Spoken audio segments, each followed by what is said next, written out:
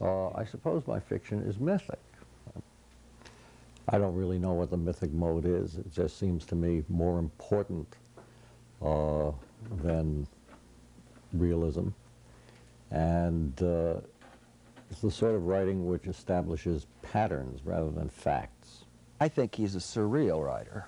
Uh, he moves uh, from uh, a surface which starts or begins to uh, seem ordinary every day in a certain sense, and then he keeps turning it a little bit and turning it until, as I suppose he would like to, to, to say, you get a, a, uh, a, a, transformation of that reality.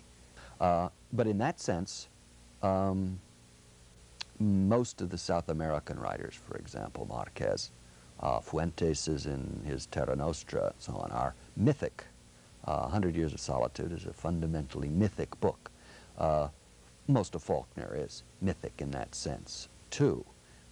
When I first started to read Faulkner, I was astonished by his own astonishment. Uh, everything in Faulkner is much larger than anything in life. Uh, and Faulkner retains in his work, and I suppose retained in his own imagination, a kind of awe of things. He wrote about giants, really. He wrote about uh, uh, people who uh, had a kind of uh, character uh, giganticism. And it was that which really attracted me to Faulkner, and which I suppose I tried consciously to, uh, to imitate in my own work. And of course, Faulkner is, a, is of course a dangerous person to, to, to allow yourself to be influenced by in a way because he's so overwhelming. What, uh, and you can see the influence on, on Stanley, but Stanley has managed to, to uh, let that influence work in such a way that it's, it's not, uh, you don't just say, aha, here's Faulkner, you know. Never have, have I felt that reading Stanley. But I think that one of the things you do see is, is Ogerite, this mythic thing that we spoke about with, with Stanley before, but, but also the high energy. Uh, verbal level is, uh, in, in Faulkner is always high, and in Stanley it is always high too. Uh, I, I admire Faulkner for his hyperbolic imagination.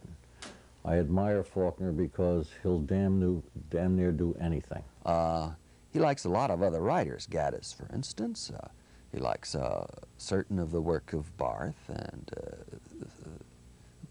uh, people, Coover, and so on, that